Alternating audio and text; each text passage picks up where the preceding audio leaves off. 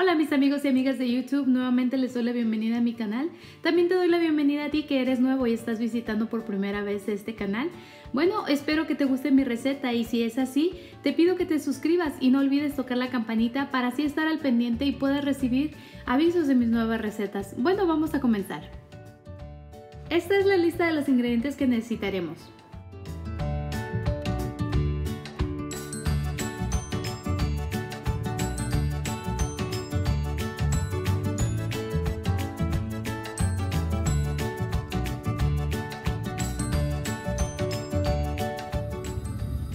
Lo primero que vamos a hacer será poner agua a hervir. Mira, aquí en este sartén ya tengo mi agua, la suficiente para poner a cocer nuestras albóndigas. Pero entonces voy a ir a preparar la carne. Albóndigas. Mira, ya tengo picado cilantro, la mitad del diente de ajo, cebolla, tomate o jitomate como tú lo conozcas. Ahora vamos a comenzar. Aquí tengo la carne molida ya. Lo primero que voy a hacer es agregar sal. Aquí tengo sal, voy a poner un poco de sal. Voy a agregar la pimienta, es muy poquito como puedes ver. Mira, es muy poca pimienta, la voy a agregar. Voy a agregar el cilantro, el ajo, el tomate, la cebolla. Todo lo voy a poner aquí.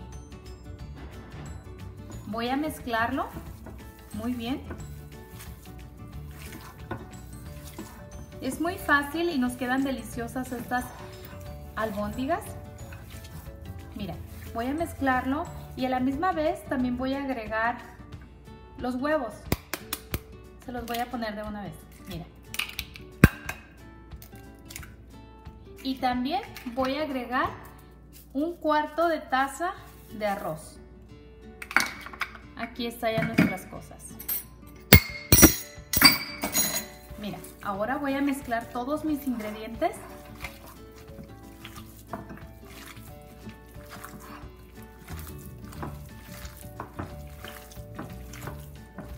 Mientras el agua está hirviendo, yo estoy preparando mi carne para poder empezar a hacer mis bolitas.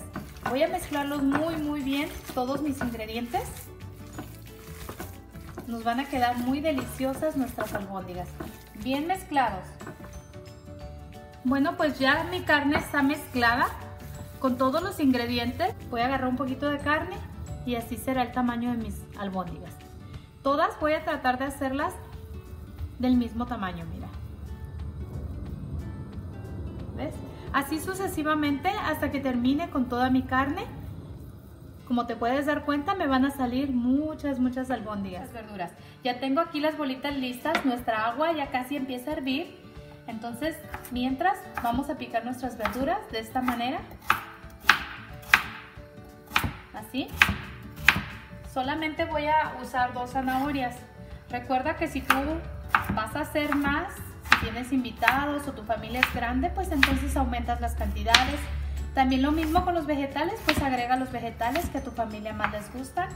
Ya piqué mis zanahorias, así.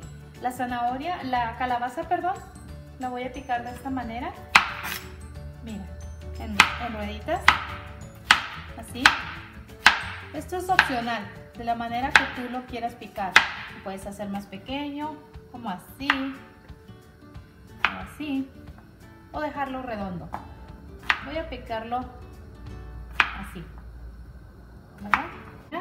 Voy a poner aquí mis verduras que estoy picando. Ya estaban lavaditas. Miren. Voy a poner aquí mis verduras. Estas papas como son muy chiquitas, solo las voy a partir por mitad.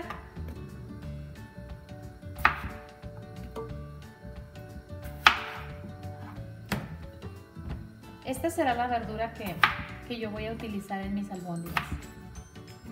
Me gusta mucho la verdura, por eso yo le pongo bastante.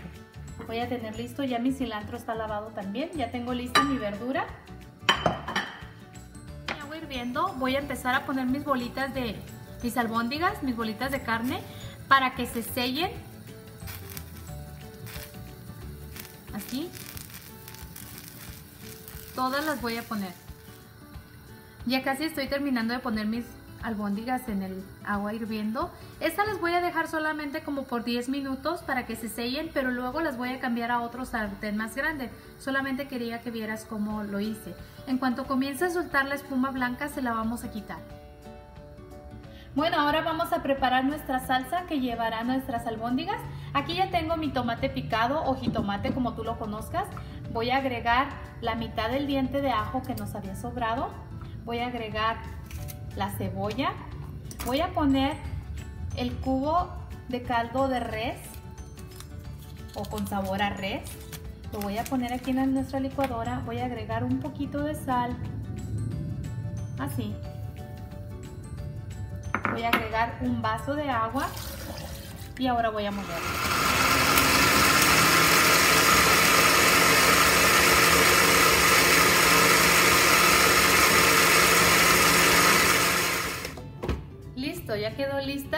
Nuestra salsita bien molida.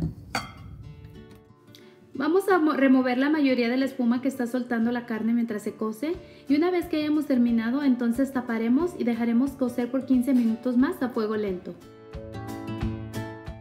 Yo ya tengo aquí un sartén precalentando y entonces voy a agregar un poco de aceite que será donde vamos a preparar nuestra salsa para las albóndigas.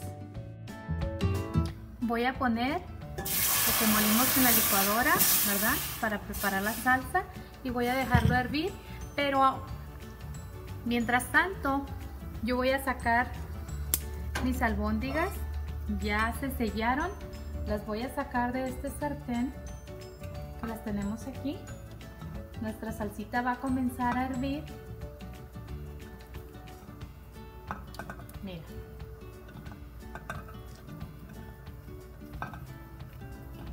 Una vez que saque todas las albóndigas, entonces voy a vaciar este caldo que tengo aquí.